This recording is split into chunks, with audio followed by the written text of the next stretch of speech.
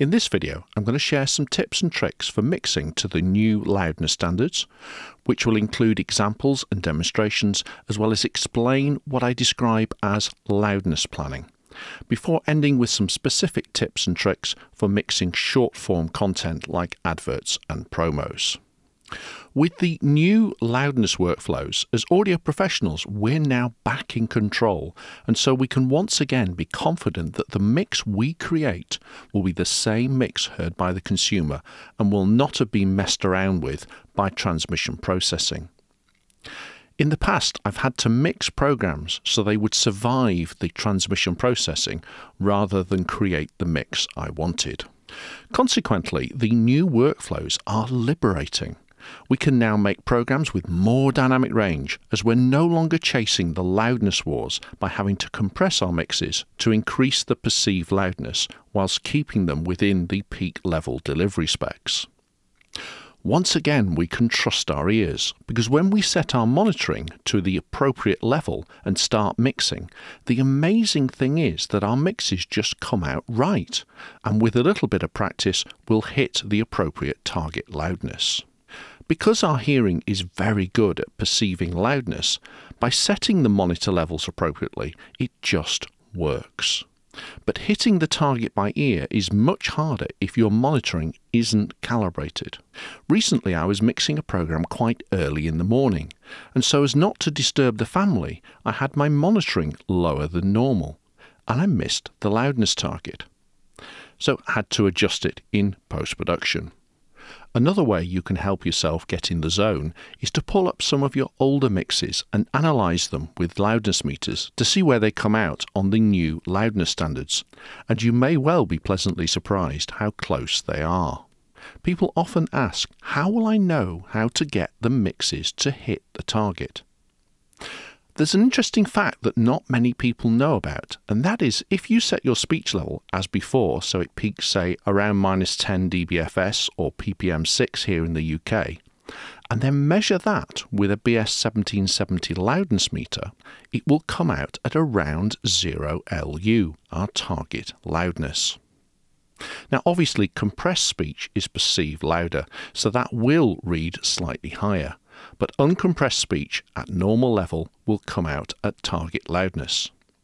In fact, one of the ATSC A85 test files is a sample clip of speech that hits the ATSC target loudness of minus 24 LKFS. As we move from peak metering to loudness metering, people ask about whether to remove the old peak reading meters. Well, for me, it's a matter of personal preference. Although some people are adamant that all peak reading meters should be removed, some folk prefer to retain them as a known reference point. Ultimately, it's up to you. As you build your mixes, make sure that the anchor or foreground sounds, which in most programs is going to be speech, comes in at around your target loudness, whether it's narration in documentaries, dialogue in drama, commentary in sport, or presenters in news programs. When it comes to peak level, consider only going to minus 3 dB true peak because the lossy codecs used to deliver our content digitally, like MP2 and MP4, will distort if the input audio goes much above minus 3 dB true peak. Now, with peak normalization and having a ceiling at around minus 10 dBFS, this wasn't really an issue because we weren't getting close to digital headroom.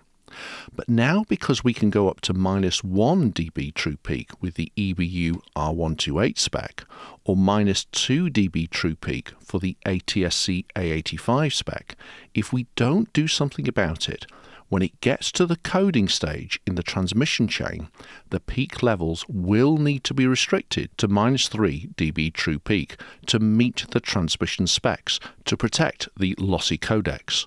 So why not create content that only goes up to minus 3 dB true peak so the audio doesn't get modified before it goes through the lossy codecs? For areas handling live audio like studio control rooms and transmission areas, the touch monitor loudness meter is getting very popular. You also might like to consider including the TC Electronic Loudness Radar option for your hardware loudness meter. The radar histogram is very helpful in giving you a sense of where the loudness trends in your mix are going, especially as the nature of the radar display effectively means the histogram folds back on itself. It's also a good idea to use the meter in relative mode so that the target loudness is 0 LU. It's easier to aim for, and also if you're high or low, it's a lot clearer because the loudness will be displayed in negative numbers if you're below and positive numbers if you're above the target loudness. Do experiment with the display preferences, especially the colours for different levels of loudness, to help you get a sense of where the loudness is with just a quick glance at the loudness meter. A number of sound mixers have settled on a colour scheme just like this one. By using green bands for each of the three loudness meters, it makes it easier to hit the target loudness. This popular configuration is to have different green zones for each of the meters. On the momentary meter, which is averaging the loudness over 400 milliseconds, perhaps have a green zone 3 LU above and below your target. With the short term meter, which averages over the last 3 seconds, perhaps set the green zone to plus and minus 2 LU. And for the integrated loudness meter, the average for the whole program, consider setting the green zone to just 1 LU above and below your target loudness. Then try using red above your green zones and blue below all of which will make it very easy to see how close you are to the target. Remember that the momentary loudness will vary the most, so significant swings in momentary loudness are absolutely fine. The short term will vary somewhat less than the momentary meter, and the integrated will stabilize very quickly and only move quite slowly. In live situations, you should always have a true peak meter in your studio output. Most digital limiters are in fact sample peak limiters and so will allow intersample peaks through unlimited. And because true peaks can be anything up to 6 dB higher than sample peaks, and now that we're working within 3 dB of digital headroom, it is essential that your output limiter is a true peak limiter and not a sample limiter. Now, there aren't that many hardware true peak limiters out there, and if yours doesn't shout it from the rooftops, then it almost certainly won't be a true peak limiter. Until recently, there was just one main contender, and that was the TC Electronic DB6. But more recently, the TC Electronic LM2 has been finding favour as a more cost effective solution so that we can be confident that the mix we create is the same mix the consumer enjoys, the true peak limiters should be the only processors in the delivery chain. All other dynamic processors should be taken out, otherwise, we'll still end up fighting the transmission processing. And remember to set your true peak limiter to minus 3 dB true peak so as not to overload the lossy codecs. And finally, in live contexts, if you're responsible for multiple feeds like different languages or international feeds, then you may need to consider having more than one loudness meter so that each output has a loudness meter across it to make sure that all your feeds are loudness compliant. Loudness planning should become an integral part of your workflow, just as planning for channel and track counts, desk layouts, etc., are all essential parts of good preparation. So, loudness planning should become a critical part of the process, whether you're working in a live or a post production context. The simplest guidance for loudness planning is to start your program quieter and build it up. The reason for this is that it's much easier to bring the average up later in the program, especially in the louder types of programs, than to start high and then try and bring it down. Also, as you plan your mix, consider the comfort zone. Now, the comfort zone has come out from the listening tests that went into the development of the loudness standards. And what they found is that there is a zone within which consumers don't feel the need to reach the remote control to adjust the volume. This comfort zone is between plus 3 LU and minus 5 LU around your target loudness, and it's a useful guide to consider for the short term meter. Because if the program loudness goes outside this comfort zone for a significant period of time, then consumers will tend to reach for the remote control, and that rather defeats the object of this new loudness workflow. Most people, when mixing for post production, will do their dialogue mix first, working the dialogue to stay fairly close to the target loudness. Then, on subsequent passes, adding and mixing the music and effects, setting them around the foreground sounds as feels appropriate. Because if you have calibrated monitoring, then if an element feels loud, it will be too loud, and if it feels quiet, it will be too quiet. You can trust your ears. Because it's harder to bring the average down, especially on louder shows, consider running the opening credits or any other packages that will be played in throughout a show slightly lower in loudness. Because they're pre recorded, you can run them through a loudness meter before the show and then you can play them in that little bit quieter. These packages become then your known loudness references, and it'll help you keep track of the loudness by having these moments of known loudness. And you'll also find it easier to mix live shows very close to target loudness. And in fact, established mixers can mix live shows to within half an LU using these techniques together with calibrated monitors. And especially on the louder types of shows like X Factor, it's really hard to bring the average loudness down, especially once you've passed the 10 minute mark. Because we can have a wider dynamic range and we're no longer constrained to a maximum peak level, we can now configure our compressors with a slower attack, which will allow the transients through, but will manage and control the content if it consistently stays high. So we can still use compressors and limiters to manage the surprises, especially on live or as live shows, but have more transients coming through the mix, which will help to open out our mixes. As I've already mentioned, it's often the case that it's very hard to bring the average down, but it doesn't always have to be the case. An example of the exception that proves the rule is Jeremy Kyle.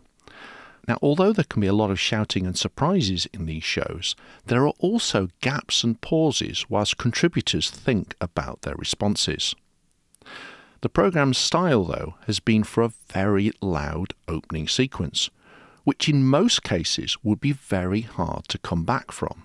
So I'm going to play you a time lapse sequence of a complete 10 minute segment from an edition of Jeremy Kyle, exactly as it was mixed on the day. Notice how the opening sequence starts very loud.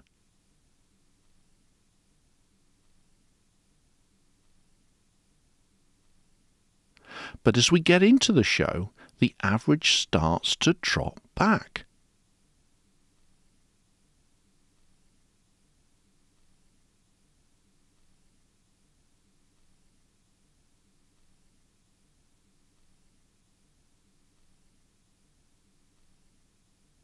And even though there are several louder moments, they don't have a major impact on the average.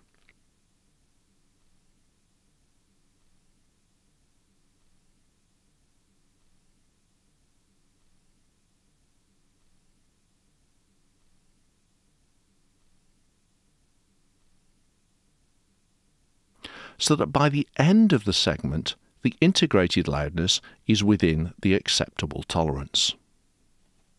When it comes to adverts and promos, often called short form content, all the rules still apply, as well as all the opportunities for increased dynamic range and impact moments. However, because of the intense loudness wars of I want my ad louder than anybody else's, all signs of dynamic range have been squashed out of short form content. I'm aware that established mixers have even had their mixes rejected that had just 4 dBs of dynamic range as being too much. They were only satisfied when the ad was remixed with no more than 2 dBs of dynamic range. But the new loudness standards mean that there is no point in having content that is so heavily compressed to make it sound louder. If you do, it will simply be turned down until it meets the target loudness. However, people have started to look for other ways of creating adverts that have impact but meet the spec. One trick was to create an ad where the first 25 seconds or so was very quiet, and then they dropped in a really loud payoff line that, of course, when averaged over the whole ad, would hit the target loudness. Consequently, in a number of territories, they've added a requirement for a maximum short term or momentary loudness for any short form content. For example, the PLOUD group responsible for the EBU R128 standard have recently published a revision to R128 for short form content, that's anything less than one minute in duration, that specifies that the highest short term loudness can go is plus 5 LU, or the highest that the momentary loudness can go is plus 8 LU. Remember that normally there are only two pass fail criteria the integrated loudness and the maximum true peak. The momentary and short term measurements are there as a guide to help us mix loudness compliant content. But now for short form content, there is a maximum short term or momentary figure added to the pass fail criteria. But just as for long form content we can add more dynamic range, so we can for short form content. I'm going to play you two mixes of the same spoof ad. One mixed to a maximum peak level of minus 10 dBFS and the other to a target loudness with more dynamic range. Take a listen, but also watch the quasi peak and loudness meters as well. Kill the loudness wars now. Whether it's adverts, announcers, or mumbling actors that get people complaining. Buy yourself a loudness meter and stop the complaints dead. Kill the loudness wars now. Whether it's adverts, announcers, or mumbling actors that get people complaining buy yourself a loudness meter and stop the complaints dead. You can see from the histograms that the first version has very little dynamic range and is much louder than the second loudness compliant mix that also has more dynamic range. In the loudness compliant mix, the second half is much quieter and more restful, which sits better with the story. And also, the explosions cut through the mix and have much more impact than they do in the first mix, because in that one, they're simply bashing into the peak limiter. As we get more experience and these concepts start to be introduced into the creative briefs, we're starting to see more opportunities for wider dynamics in ads and promos. Take a look at this histogram of two different mixes of a pet rescue ad. The first part of the ad is in a museum before the music and effects kick in halfway through. However, in the peak normalized mix, the museum sounds are as loud as the music and effects and lose their impact, whereas in the loudness compliant mix, the museum section is much quieter, just as you would expect, and then when the music and effects kick in, they have much more impact. So, to recap, the opportunity to go through the roof, our 10 dBFS ceiling, is really liberating and enables us to have those moments of impact where we can make things louder if we want to, as long as the overall average for the whole program hits our target loudness. We can add dynamics to our mix and get away from the uniformity that we could end up with when mixing and working to a maximum peak level, the sausage mix concept. Working to these new loudness standards is liberating. We can set our monitor level and mix trusting our ears, knowing that it will come out right and we will hit our target loudness.